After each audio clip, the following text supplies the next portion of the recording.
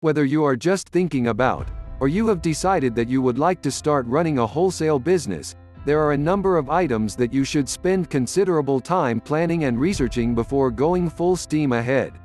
Proper planning and fact-finding upfront can not only save you from a lot of headaches in the beginning, but can also mean the difference between a successful wholesale business versus a monetary disaster waiting to happen. In this article we will provide you with 10 tips to help guide you along the way as you begin planning for your business. They are presented in chronological order so that you can use them as a way to plan out the proper steps along the way. Remember, success depends on many factors, and the most important factor is your determination and energy you put into making your business a success. Step 1. Ask yourself why. Why do you want to get into the wholesaling business? It is because you would enjoy working with other businesses and manufacturers being the main point of contact between the two. Or is it because you think it is an easy way to make money quick? Wholesaling is a demanding business, and can require lots of upfront capital, warehousing, logistics planning and customer service skills. As the main channel between the manufacturer and retailers you may find yourself dealing with hundreds of thousands of units of merchandise needing to be shipped across the country on a moment's notice. Large retailers often pay on a net 10 or net 30 schedule, meaning payment is made after the goods are delivered. What would you do if a retailer did not pay or went bankrupt before you received payment? Step 2. Study your competition. It does no good to enter a market where there already exist established, credible wholesalers for a given product. Retailers want to know they have a dependable supply source that meets their terms and often will not change wholesalers for an established product. Just because you build the warehouse does not mean they will come. Use your local chamber of commerce, the internet and even visit with retailers to find out what wholesalers exist in your area. If you want to specialize in a specific product, contact the manufacturer directly to find out who handles wholesaling for them already in your region. There may be none in your state, or there could be three down the street. Step 3. Assess your financial situation. Wholesaling can require a lot of upfront capital and expenditures before you even see one cent of income. Do you have the resources to spend on setting up a relationship with a manufacturer who will most likely require you to buy in huge quantities from them? Can you afford to wait up to 30 days for payment? Do you have the money to invest in shipping freight or setting up your own delivery service? Be sure to look past the startup costs as well. Employees, taxes, property rental and insurance are just a few of the things you will need to factor in as ongoing costs. Step 4. The business plan. A solid business plan is the foundation of any business. You need to make sure that you have spelled out what you intend to do and how you intend to get it done. Not only will banks require this for financing, but often other businesses you deal with will want to see it as well. It should be the guidelines that you follow every day in your business to achieve the goals you have set forth. For this part, it is often wise to work with a business lawyer or seek professional advice from business consulting services. A good resource to help you find people in your area with the necessary skills and background is the Small Business Administration, located on the web at http www.sba.gov. Step 5. Apply for licenses, taxing certificates and other necessary paperwork. Nothing is as certain as death and taxes. It is no different in business, with one exception. As a wholesaler you will be required to pay taxes and other fees to your state and to the federal government.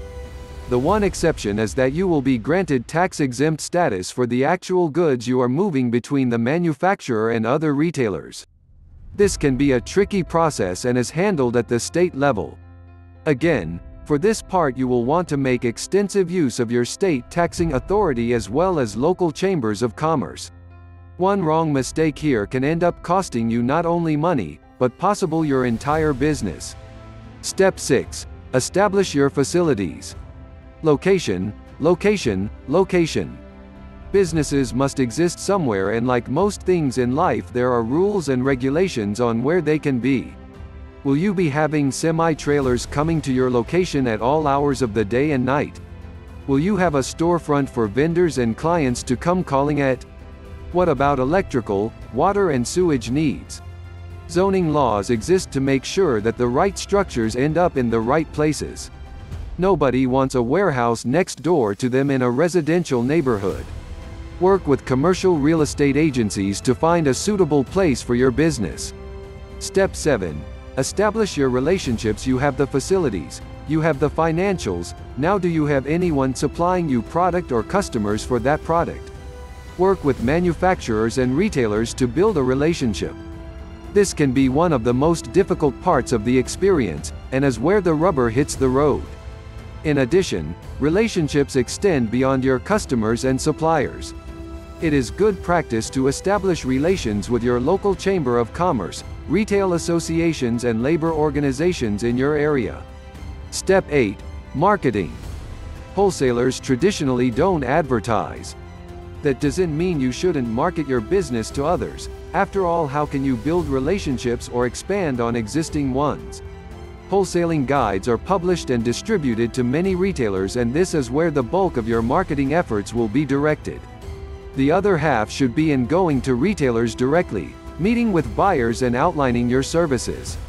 Just because you have a customer today does not mean you can rest on your laurels. Marketing works hand in hand with building a relationship and maintaining it. Step 9. The machine in motion, servicing your customers. Product is coming in, retailers are placing orders, we're all done right. Not exactly. Getting the product to your customers, answering questions about delivery timelines, working with vendors to obtain new product lines, it is a complex and demanding part of the business. In today's, just-in-time, marketing model a delay in shipment could mean the end to a business relationship. You must keep your customers informed of any status changes, pricing concerns and product movements from your facility to their loading dock. This is where backend systems come into play by maintaining records and logs of all activity with that customer. Do not underestimate the value of a good customer relationship management system, CRM. Step 10. Employees, accounts receivable and other financial matters. Once everything is up and running your next focus is your business financials. Employees need to be hired and fired. Payroll needs to be met. Money must come in, and money must go out. Here you should invest in financial talent and services if you do not possess them already. One oversight can mean the loss of hundreds of thousands of dollars. A missed payroll deadline could mean your entire business comes to a halt. It is critical that you constantly keep an eye on the books and on your expenditures. Know when to tighten the belt, and know when to expand.